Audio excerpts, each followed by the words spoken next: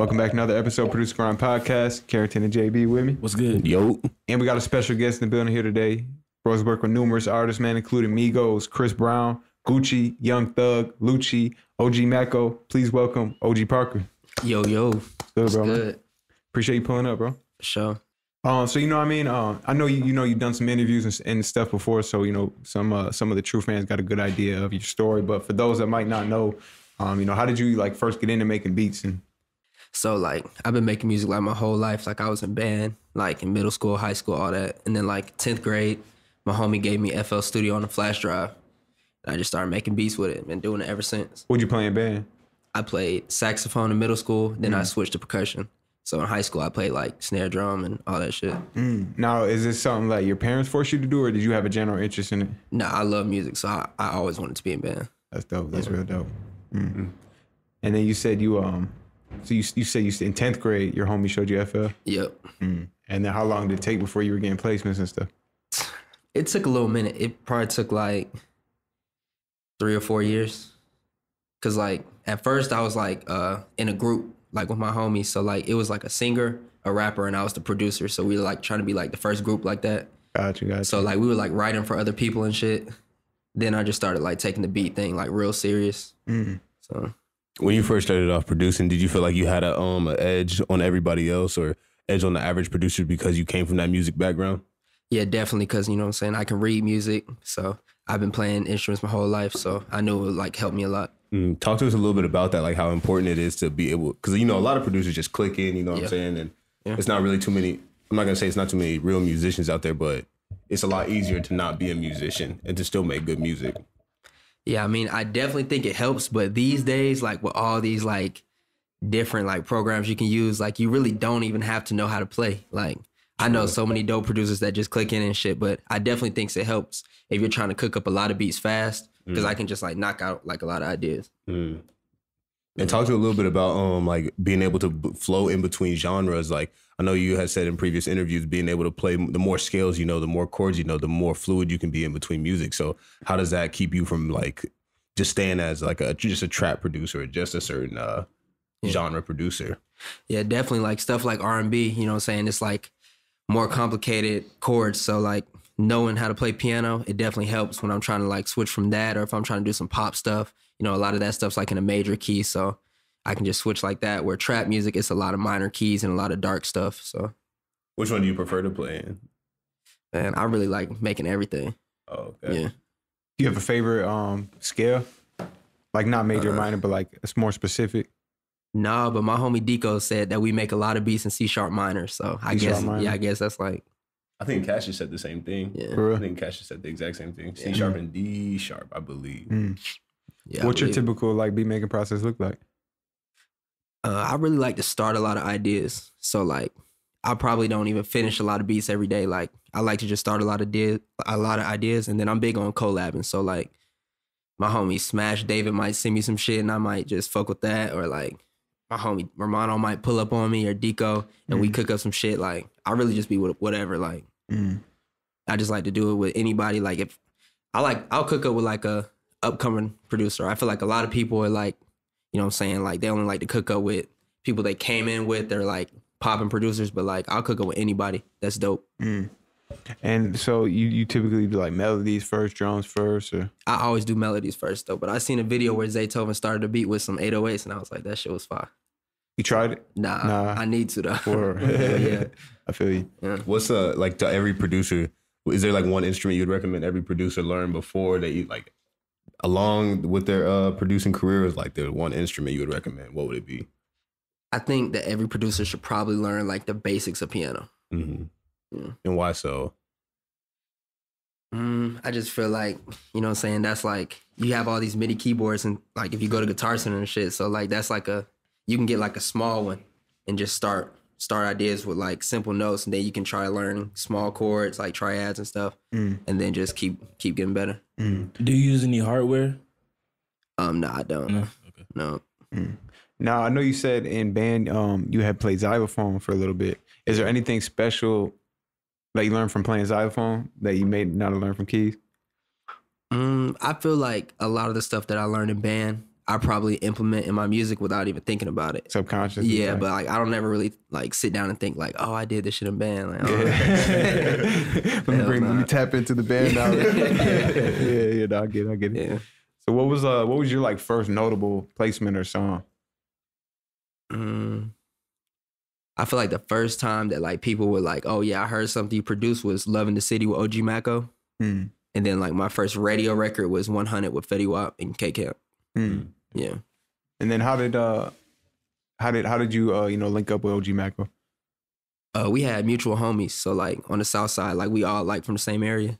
So like his homies were like, be like, oh yeah, my homie rap. He kind of popped in the city. He had that song Road Running, and it Mhm. was like kind of moving in Atlanta. So my homie was like, yeah, send him some beats. Then one night he told me to pull up, and I pulled up on him and Key, and they was making Give 'Em Hell. And then like ever since then, we Mm. was just cooking up. And then like, what was your life like at this point? Did you have a job or something like that, or Hell yeah, I was working at the mall, and I was at Georgia State. Hey, At Georgia Lenox? State.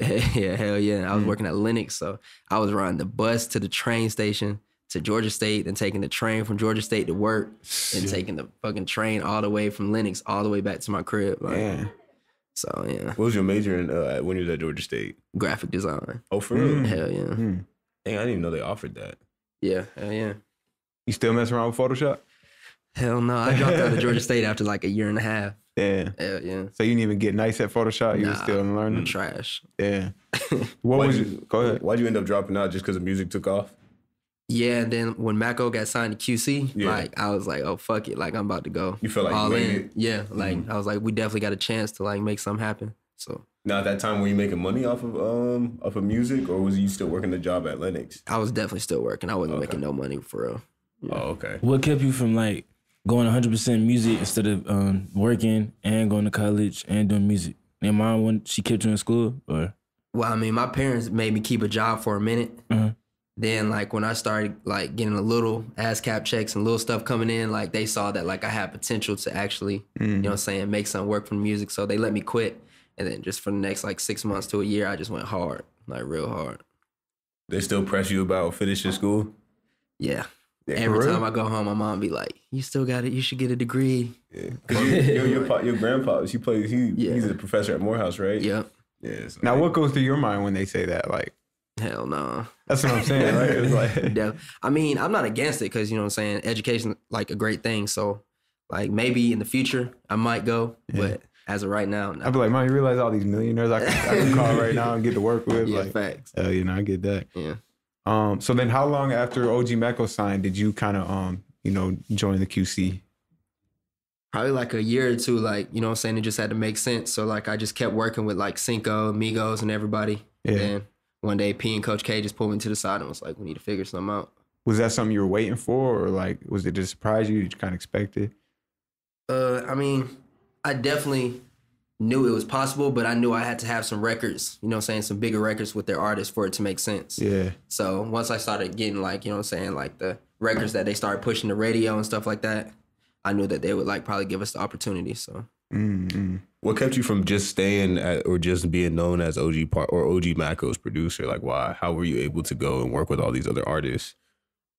I mean, you know what I'm saying? He never really cared about that. So like I know some artists might have been like, Right. oh nah, you can't give beats to everybody else. Right. But nah, he never cared. Like I would pull up, Maco would be recording, I'd walk out the room and go give Quavo some beats, then give Rich Kid some beats. Like Mm. it was never no issue. And they kind of have two different sounds. So it wasn't like the beats that Maco wanted, Quavo wanted anyways. right, you know what I'm saying? So it was always it was cool. Mm. So what's the what's the like the daily vibe like? Um, you know what I mean? Like you you go to QC daily or like what's your what's your typical daily lifestyle? Uh, well, I'm kind of like a stay at home producer. Like, I don't know. Like, I'm always at the crib cooking up. But like these days, like, they always on the road. So I probably see Lil Baby and Amigos like once a month or something. Like, Mm. you know what I'm saying? They got shows every day. Mm. So, but like uh, some of the newer artists like Kollision and stuff, like Mm. I lock in with him or like Marlo, you know what I'm saying? But the like the top tier artists, they're usually going like Yachty and them. Mm. Yeah, So like what other stuff do you do throughout the day that maybe it doesn't have anything to do with music? man. All I really do is like hoop, play the game, just make beats for him. I be chilling. What you Been on- playing? oh. What you playing nowadays? Fortnite, Fortnite. Call of Duty, 2K, that type of shit. You get into PUBG? Nah, Nah, no PUBG. Fortnite over that every day. What about that new with the new? Uh, it's like free, like Fortnite. It's called Pilates. Remember we were Oh yeah, playing P- it. Pilates. I don't know. Pilates. Pilates. Pilates? Pilates. You ever heard of it? No, Nah, Pilates is what's the workout. Not Pilates. So that's somebody saying a lot. it's like Aladdin, but with a P or something like that. I don't know. Paladin What is it like? Like It's like World of Warcraft and um and Fortnite. and Fortnite mix. Like you ride on a horse. Yeah, it's kinda weird. shooting, Like But it's a free game. Like I, you know, like how they got the streaming where you can watch people play games. Oh, yeah. So I was on there and it was like the number one stream game. I'm like, oh, it's free. Let me try it. But it's weird. I, I couldn't really figure it out. Hell, I'm gonna look it up. Yeah. if you play Fortnite though, you probably you probably Yeah. mess with it. Yeah. Hell, yeah. You got any uh, solo wins in Fortnite? Hell yeah. For real? Oh, you nice, Yeah. nice. Yeah. He said, got a "Oh, couple. you nice. Oh, you nice, nice." That's dope. That's And with dope. um with all the competition at like um at QC, talk a little bit about like you know there's so many producers at the studio. Like what separates you from all the other producers? I mean, I feel like every producer got their own sound. So like, you know what I'm saying? It's really not too many producers there though. It really just be Mhm. like me and Quay, you know, cook that shit up Quay. So Right. You know what I'm saying? He do a lot of stuff with Lil Baby and stuff like that. So we make beats together a lot and shit too. So it's never I never really felt like it was any competition. Mm. or Nothing like that. Y'all got any collab placements together? Uh no, not yet. That's but we just cooked up like a five pack like the other week. So something gonna come from it. have you um have you been introduced to tour life at QC? Mm-mm. You never been on tour yet? mm. Mm Not yet. You don't want no parts? I don't know. I don't You know. say you like being at home and shit, Yeah. and I feel that. Hell yeah. yeah. but you never know though. What have you learned from just being around like Coach and P? I mean, just to stay consistent. You know what I'm saying? They definitely stay on me to always be working, always cooking up. Like they be like, you still sending beats to everybody, making sure I'm still working with all the artists. Yeah. So I'm gonna ask you something. A lot of producers they come on here and they refrain from um, using loops and stuff like that. They talk down on using loops. I see when you work with like I see you working with Hitmaker, like a lot of them, Mhm. y'all use loops from like the Martians. You know, a lot of people. Yeah. So like, what made you transition to um, really use a lot of loops instead of your own compositions? I mean, I like to just keep a balance of both because like a lot of times like the Martians or QBs, they'll send me some fire shit. So Yeah. why not fuck with it? Why not, why not add some drums to it or something? So you know what I'm saying? I definitely see a lot of people that are against it, but I mean, it's, I feel like it's kind of like a new wave of production because like three years ago there was no loops floating around or nothing like that. But now I get loops every day to my email, so Mhm. I just I don't know. I fuck with it. It definitely, yeah, like you said, right? Like three, four years ago, like it was super talked down on the use Yeah. loops, right? Hell yeah, I feel like a couple years ago people didn't even like collabing like that. Yeah, right. Yeah, it's- it was a little different, but When you when you use a loop, what kind of percentage do you give that producer for just using the loop? I break everything down even no matter what. Really. Yeah, I don't care what what you do on the beat. Even if you bought the loop, or do you not buy loop? I don't buy loops. Yeah, Okay. I don't know. Mm. I just work. I just like if people send me something, I'll just add to it, and we bust it down even every time. Because if not, it gets tricky. Like I don't even want to be like I did more than you, so we gonna do 40-10. Like Mm. I don't know, it just get weird. Yeah. I'd rather just go 25-25. Now, do you only typically work with people you already got a relationship with, or like if a, f- a fan wants to send you something on IG, you how does that work? Normally, it's people that I know, like Q Beats or the Martians or something like that. But as of lately, I've had some people send me some dope shit that I'm like, oh yeah, mm, keep sending more. So Hmm. I'm definitely open to working with new producers like all the time. What producer would you say that you learned from the most working with? Mm, that's a good question. Probably Deco. I think Deco definitely taught me a lot of mixing tips that I still use daily. So You share one? I was gonna say any gems you could share. I mean, I don't know. I feel like that's better to show than to just like explain. I want to, you know what I'm saying, show them with like FL up on the screen or something. What do you do with your master channel? Uh, I put like a. Mm, I don't know if I should tell. I mean, it's in Maximus, but you know what I'm saying? I put it like on a certain level of the master, like on the rack and stuff. And like I use like a preset on it. So it's hard to explain. like you can't just put Maximus, it's not going to sound the same. Right, so I don't even want people just trying to like throw Maximus on their master track and thinking it's going to make it sound better Yeah, because it ain't going to sound right. But you got to do it the right way. yeah. Yeah. No, that's surprising you said that because most a lot of producers come out here they say they don't do nothing. Right. Oh, yeah. Yeah. I just started doing it like a year ago. Oh, okay. My homie Smash David showed me how to do it. So mm. What's the mm. difference? Is it just the lo- the loudness that you see the differences, or is it actually make things knock a little bit harder? Yeah, I think if you mix if you mix right with it, like you have to mix things a little differently when you put it on there, but it definitely like it makes me feel like it's like knocking a little more. Do you mix it after? Will you mix it differently after you put it on or before you put Not it before, on? for sure. Before, yeah. yeah, Mm. yeah. So that's really like the last step. Yeah. No, I was like the like as soon like really, I want to put it as soon as I open FL up. I want to put it right there because like if you try to put it on after you've made the beat, you're gonna have to remix the whole beat Mm. once. You know what I'm saying? Once you put the preset on. So Yeah. I got a good question from you for, for you from start to finish. What's the longest amount of time you'll spend on a beat, and what's like the shortest time you spent, hmm. like on a, from a start to finish, like final mix, everything? what like if it's like some EDM shit, Shit. days, weeks, Yeah, months. Like yeah. I've been working on some shit for so long, Yeah, but like some trap shit, shit, ten minutes. It really just depends. ten minutes and it's out. Yeah, it can it- be if it's like some Yeah. simple shit. Yeah. Hell yeah. Mm, mm. Will you when you um make the EDM? Will you go? Will you switch into another DAW like use Ableton, or will you stay using FL? I want to learn how to use Ableton, but all my EDM stuff I've done so far is on FL. Mm. Now talk to us about the EDM stuff. That's what you do with your your group merge, right? Yep. That's the kind of talk to us about how that even came about and what, what it's about. Uh, We were just like making so much EDM stuff, and we just had to like figure out a way to like package it together. But we got a lot of music coming. Like we got songs with like Yachty, Rich the Kid on it. Like just a it's lot of stuff, but we just want to drop it like when it makes sense. Mm. So So when you say EDM, what kind of EDM are you talking? Are you talking like EDM like um Carnage type EDM, or are you talking like EDM like you know, rave type EDM? yeah. Like there's so many different genres, but we don't really have names for them. yeah, I mean, I don't really want to put us in a box like that because there's so Right. many different types. But if I had to pick one, I would say future bass. Oh, Like you know what I'm saying, like Major Lazer, Cold Water type vibes. Oh, like okay, more so like pop. I feel Yeah. like I was speaking Electronic Chinese. music. I don't even no, know. Major Lazer is fire. Major Lazer is fire. I've heard of Major Lazer. I can't say I heard of his music though. Oh yeah. And then what you said, Diplo. future, He's a- future. it's a group. yeah, okay, I heard of Diplo. Yeah. I thought that was one person though. Yeah, Diplo's one person, but But Major Major Laser Lazer- is his Oh, with, he's with two other people. Okay, yeah, got you, got you, got you. Okay. Hell Who are some other of your favorite artists? like, Like in the electronic EDM, music. Yeah, in the EDM scene. Um, I like Carnage. I like a lot of stuff Marshmello does, Mm-hmm. Slushii, um, Louis the Child. It's a lot of people. Who you feel like was killing it in 2018? Who do you think was the number one? Marshmello. Yeah. yeah, Yeah. for sure. And you got some work with him, right? Um, no, I've sent I sent him a couple ideas because we did Wild Out together. So Oh, I the met him for the first time. Yeah, Okay. but Now, what do y'all what do y'all got planned for? Are we gonna see y'all at these festivals, DJing? Like, what do y'all really got planned? Yeah, we're just trying to focus on the music right now. You know what I'm saying? We got to get like a full set ready and all that. But definitely, Yeah. when my manager lets me know it's time, And is this something you're doing within the QC branch, or is nah, it it's completely totally separate. different? Yeah, Any label attachments or all? nah, not yet. Mm. Yeah, we're just working. So how are you able to separate the two? Is there like, because I don't, I mean, I don't really understand. Like, try to help help me understand how. What does it mean to be signed, and then what does it mean to be able to go and create your own thing and start moving under a different under merge? Like, how are you able to do both and keep them separate? Well, that would be like my artistry. So you know what I'm saying? You can sign the deal as a producer, but that's like my artist side. Oh, okay, So, okay, yeah. that makes sense. Um, now we seen you were invited to the Dreamville uh, Revenge sessions. Yeah. Um, what were the what was like the vibe like at those sessions?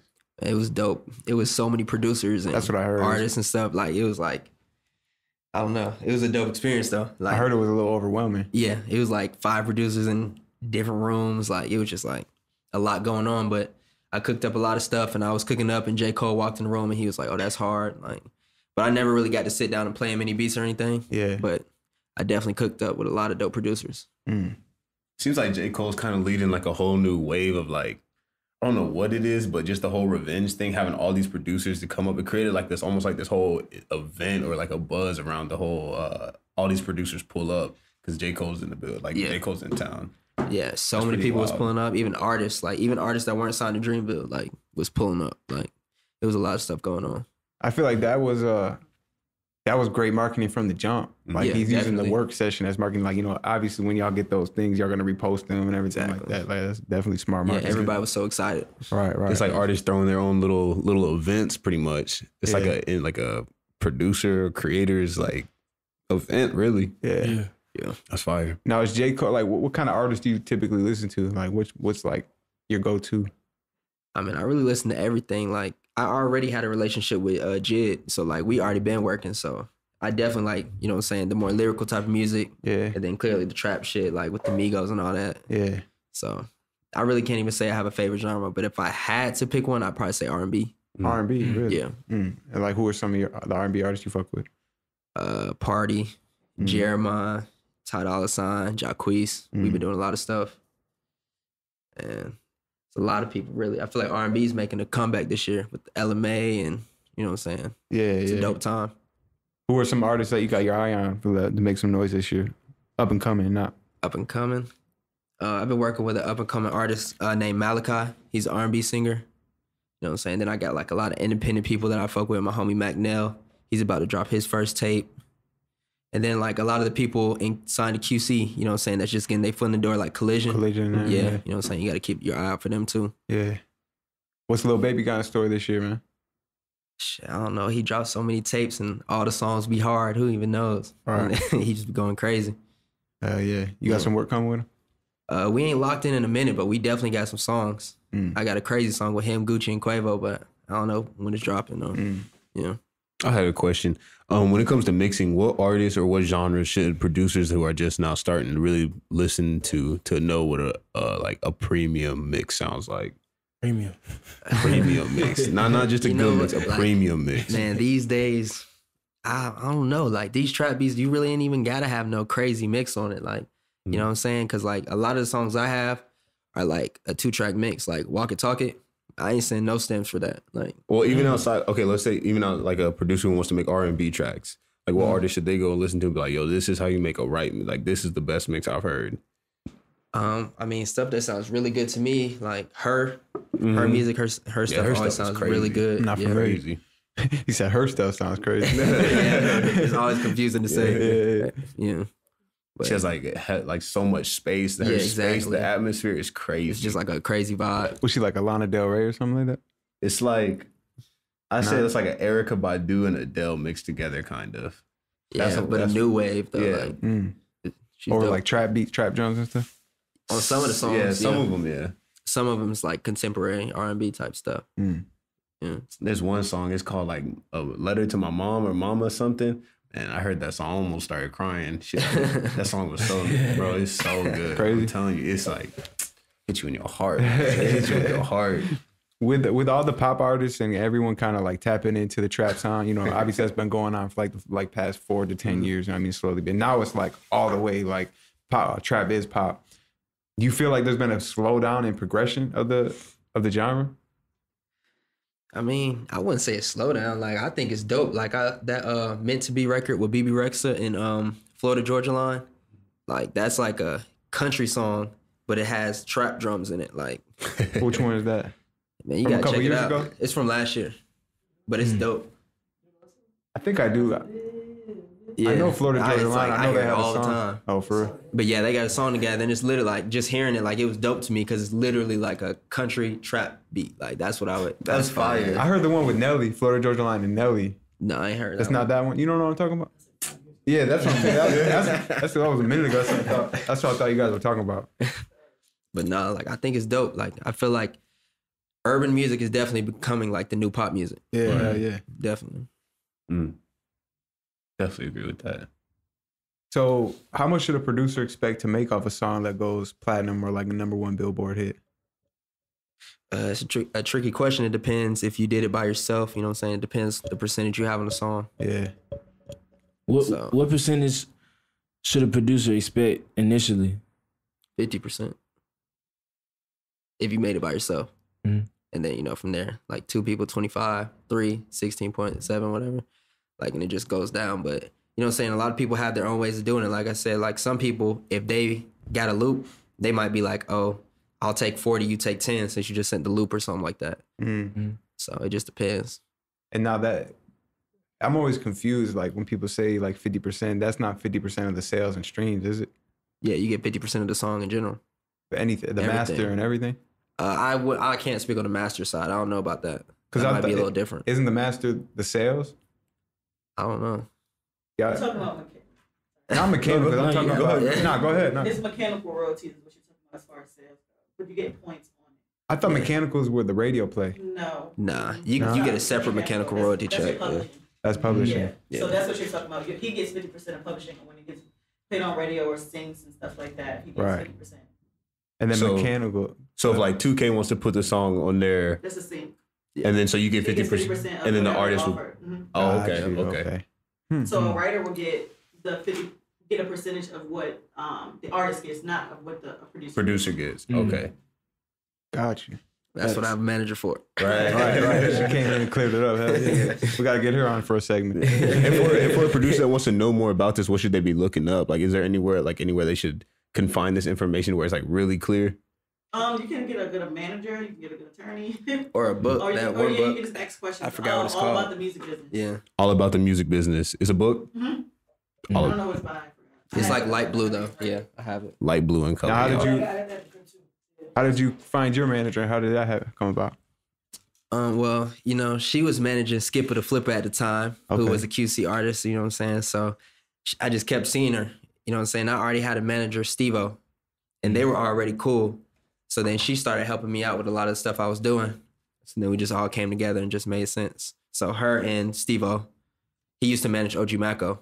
They Mhm. both manage me. Mm. Yeah. Now I'm gonna put you on the spot here. What's one or two things that she does for you that you couldn't live without her doing as a That's, manager? that's a lot of stuff. A lot of stuff. She does like everything for me. Like, For real? yeah. That's not a good enough answer, man. I'll put you on the spot. Yo, no, give us one thing. What's what's one thing that was like, oh, now that I got a manager, that's so much easier. Or I, that gets I don't handled quick- personally. I don't like to handle business. Period with an artist. Like I don't ever want to like hit up an artist and be like, "Yo, um, I didn't get my advance for the beat." Like, so Okay. that's where you know what I'm saying. She Mm. comes in. She hits up their manager. Like I feel like it's always best for a producer to stay out of the business side. Let the yeah, let the manager say like, don't ever hit up an artist and be like, "Bro, I didn't get paid for the beat." Yeah, It like, it's- up the relationship. It's never a good idea. But it's a different vibe when like a outside. Yeah, if your manager hits their manager, you'd be like, I mean, that's my manager. I ain't- I don't know, She wants, to, she wants to get paid too. She yeah, wants you know what to I'm get- saying we just we make music, bro. That's it. yeah. Mm, mm. At what point did you feel like you needed to get a manager? Yeah. Um I don't know. People always ask me that, like up and coming producers, like when do mm-hmm. like should they get a manager? I mean, if you're not getting any placements, I really don't really see a reason to unless the mm-hmm. manager is gonna help you get placements. Like if Mhm. the mm-hmm. manager knows artists and stuff like that, like she has her own relationship with artists that I don't even know. Yeah. And she can send my beats to them. So if you find a manager like that, then anytime really. Yeah. If you got some hard beats and you know that the problem is getting your beats to the artist, it might be time to find a manager. Mm. Because I feel like that's, feel like that's the number one thing. Like a lot of the people that ask us, like from our, uh, you know, IG and stuff, they ask Yeah. us like about getting managers. I think that they assume that the manager is there to to find placements for them and stuff. Nah, you gotta do that yourself too, though. But they they can help, definitely. So For for upcoming producers, how do these producers actually um, make their brand make their brand have more value so they can link with these artists? uh, I mean, I don't know. You just gotta. Brand is definitely important. So I guess you just gotta like make it look like you're working. You know what I'm saying? Like I don't know. Like every day, like I don't know. Like I used to just post myself in front of my keyboard all the time. Like so everybody knew I was making beats. Yeah. Then if anytime I had an opportunity, like let me send you some beats. Like Yeah. even if they were up and coming, like you know what I'm saying. You just gotta give it a chance. You never know who's gonna blow up. Yeah. So I don't know. So so image. Yeah, definitely. That's definitely important these days. Let me ask you something. Uh, Because a lot of times we ask a lot of producers about the power of having jewelry and the importance of having jewelry. Mm. Now, you're a producer that has jewelry. Was there a noticeable difference the day you started posting pictures with jewelry and stuff like that versus the day before? Uh, yeah. I mean, I will say, you know, what I'm saying clearly people are gonna treat you different if they see that you have jewelry on and stuff Yeah. like that. You know, what I'm saying and you posting the pictures with the QC chain. You know, what I'm saying people be like, oh, that shit's dope. Yeah. But I mean, I know a lot of producers that don't give a fuck about that type of shit and got dumb money, like and still make hits all the time. Mm, hmm So I don't think it's something you need, but it probably helps when it comes to branding. mm. I can understand that. Yeah. can understand that. Um, yeah, I mean, you want to get into uh, the random questions? Sure, let's do it. So we just basically got a segment on here. It's called Random Questions. Literally just ask you random questions. So on our first uh, question we got is when's the last time you watched a tutorial? That's a good question. Um, probably like two weeks ago, I was watching a tutorial on uh how to make this synth I was trying to make for this e- this EDM song. Hmm. Yeah. Is that where you got found like a lot of the majority of your learning, especially early in the in your career, was watching tutorials? Definitely from cooking up with people and watching tutorials. That's how I learned everything. What about cooking up with people is better than watching tutorials? I mean, just them being hands on and being right there and showing you like you can do it. You know what I'm saying? Watching on YouTube, it's a little different. Mm-hmm. You got to kind of like watch it, then figure it out yourself. Be like, oh wait, what is he doing? Let me rewind. Yeah, exactly, like- got you. All right. What's your favorite VST? Um, Omnisphere. Mm. But Yeah. Second favorite. yeah. What's your second favorite? Oh, Kontakt. Kontakt. Yeah. What's the most underrated VST? Xpand!2. I think. That's the dollar one, right? That's the one called the Yeah, dollar. yeah, Yeah, For the dollar green shit. Yeah, Yeah, yeah, yeah, That shit's fire. Mm. Sure. All right. What's your favorite meal? Meal, bro. I really like barely eat. Like I don't eat shit. I eat like chicken tenders and cheeseburgers and pizza. I don't eat nothing else. Who's got the best pizza in Atlanta? Shit, maybe Fellini's. Whoa. Fellini's. Mm-mm. Maybe. I'm not gonna I take had that one. Fellini's. the other- I had I'm gonna take two days ago. I was so disappointed. For real? I'm gonna Yes. take that one. I don't know. Da Vinci's a straight. You ever had roses? Mm-mm. Little Azio's No, on Northside Drive. I don't fuck with that. Geno's. I had Geno's. Geno's. yeah, y'all don't like Fellini, damn. Uh, we already asked this one, but what's your favorite scale to use? Your Yeah. personal favorite scale? C sharp minor. C sharp minor. Yeah. And then I always ask this question: If you were gonna fight a grizzly bear or a silverback, which one would you prefer to fight? Grizzly bear. What the? f- So you think a silverback is scarier than a grizzly bear? Yeah. We've had, Yeah, we've, had we, we've had nobody that's gone on our side with The uh, grizzly? I know, right? Who would you rather fight? I don't know. All you got is a, a spear. A dull spear. A dog spirit? I don't know. I think. Mm, what do y'all mm. think? I mean, I would rather fight a gorilla because a grizzly bear is like 12 feet tall, about 1,500 pounds. he got claws and he got teeth. Well, given the original question, the original question is Who would win in a fight, a grizzly bear or a silverback? Oh, I thought you said who would you rather? Yeah, he fight? switched it up. yeah. But the original question, it's like an internet question that's out there, Uh, is who would win, a gr- a That's a good grizzly question. or a silverback? um, that's gonna that's a long fight. I don't know. That's a good fight though, I'm taking like- silverback. bro. Because a grizzly bear is just like a silverback, but he got claws.